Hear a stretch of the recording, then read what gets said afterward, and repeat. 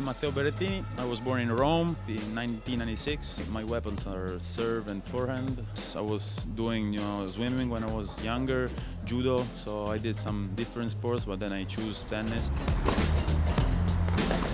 Roger was one of my idol. You know, I was growing up and he was winning everything, so I was watching him and like trying to, you know, do better and better. And uh, yeah, he's still here. He's still playing unbelievable. So I'm really happy to play the same tournament with him. I like clay. I love clay. I was playing in Rome two weeks ago, and I did a great tournament. So I'm, really enjoying playing on, on clay.